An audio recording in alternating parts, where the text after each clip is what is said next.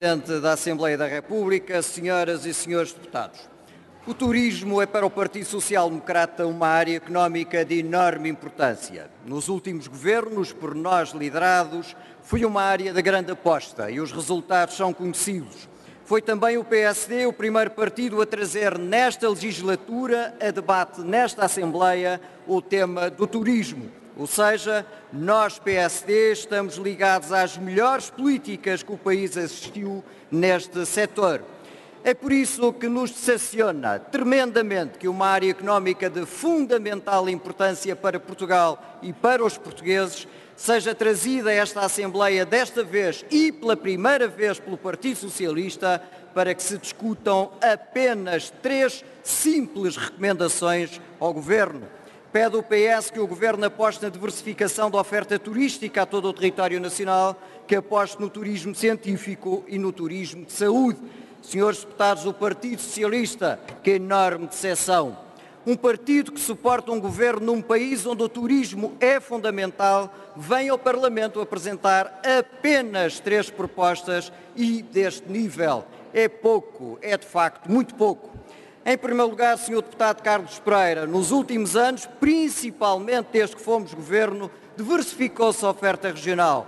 Passámos a ter, além da Madeira do Algarve e de Lisboa, regiões por excelências do destino de Portugal, conseguimos colocar no mapa o Porto e região Norte, o Alentejo, a região Centro e os Açores.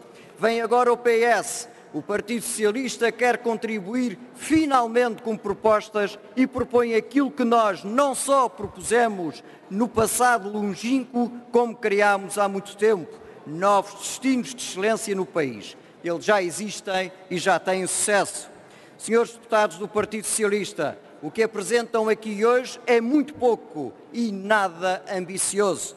Mas, Senhor Presidente da Assembleia da República, senhoras e senhores deputados, o PSD não vai deixar ficar mal este Parlamento e, aproveitando esta oportunidade, vamos fazer recomendações ao Governo e apostas claras, decisivas e importantes, muito mais estruturantes que as pequenas sugestões, uma já tremendamente atualizada, que o PS trouxe ao Parlamento.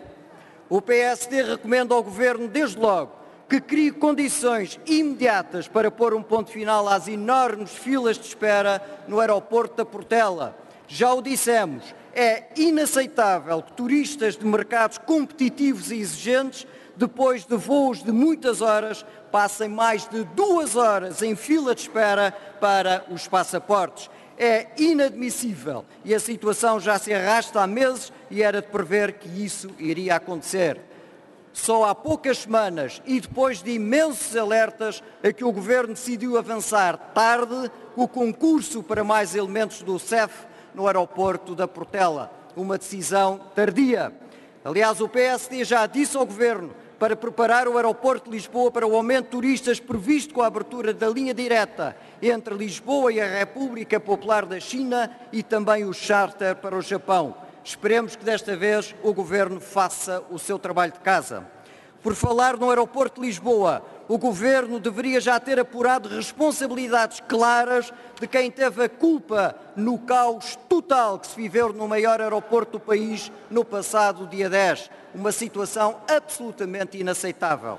O PSD, entretanto, já chamou ao Parlamento a administração da ANA Aeroportos e, se necessário for, outras instituições serão chamadas por nós para explicar o porquê desta recente situação que envergonha o país e que deveria ter envergonhado também o Governo. Um aeroporto em total caos, impreparado para fazer frente a uma situação de emergência. Estamos a falar, senhoras e senhores deputados, do maior e mais importante aeroporto do país. Outra proposta que o PSD vem insistindo quanto ao Governo apostar forte no turismo religioso, em especial no mercado latino-americano e sul-coreano, fomentar a abertura de ligações aéreas diretas com as principais capitais da América Latina, como Bogotá, o hub da cidade do Panamá, Lima no Peru, Cidade do México e Buenos Aires. Lisboa deve ser um hub aéreo fortalecido nas ligações entre o continente americano, a Europa e o continente africano. O Governo tem feito muito pouco neste sentido. Outra recomendação ao Governo captar mais investimento estrangeiro nesta área do turismo. Existem muitas cadeias de hotéis de renome internacional que não estão em Portugal, mas que deveriam estar. O Governo não tem uma política clara e evidente para captar estas cadeias internacionais de hotéis para o nosso país. Mais uma recomendação. Criar um centro de excelência internacional de ensino promovendo a internacionalização das escolas hoteleiras e do turismo, transformar as nossas escolas em centros de excelência e captar mais alunos estrangeiros. O número de estudantes estrangeiros nas nossas escolas de turismo é um número muito, muito reduzido. Ter também uma política fiscal competitiva através de uma política amiga do investidor, amiga do empresário e do cliente em Portugal. Outra recomendação ao Governo, qualificar a oferta turística, facilitando o financiamento para o upgrade às, unidades hoteleiras já existentes no país, mas que com o passar dos tempos necessitam de reformas urgentes. Apostar em nichos de mercado que se podem associar também ao turismo residencial, dos mais evidentes o golfe e o desporto náutico. Tudo para fazer, tudo para aumentar também a média de estadia dos turistas em Portugal ajudar também na aposta de captação de cruzeiros em novos destinos no país, como por exemplo o Porto Santo, mas também alguns portos do arquipélago dos Açores. Outra sugestão, fazer uma análise pormenorizada de toda a cadeia de valor do turismo para identificar custos de contexto que estejam a limitar a competitividade do setor. Mais uma recomendação, elevar a gastronomia portuguesa, que é um autêntico património nacional, a uma cozinha de qualidade e difundida pelo mundo inteiro através de uma rede de restaurantes portugueses. Senhoras e senhores deputados do Partido Socialista, os senhores trouxeram três frouxas recomendações. Nós compensámos a vossa falta de ambição com mais 12 recomendações, quatro vezes mais. Assim, Sr. Presidente da Assembleia da República, senhoras e senhores deputados, não deixamos mal esta Assembleia e entregamos ao Governo um bom trabalho de casa. Muito obrigado.